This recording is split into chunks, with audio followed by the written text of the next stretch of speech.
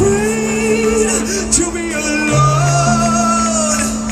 I'm afraid one day you'll find out.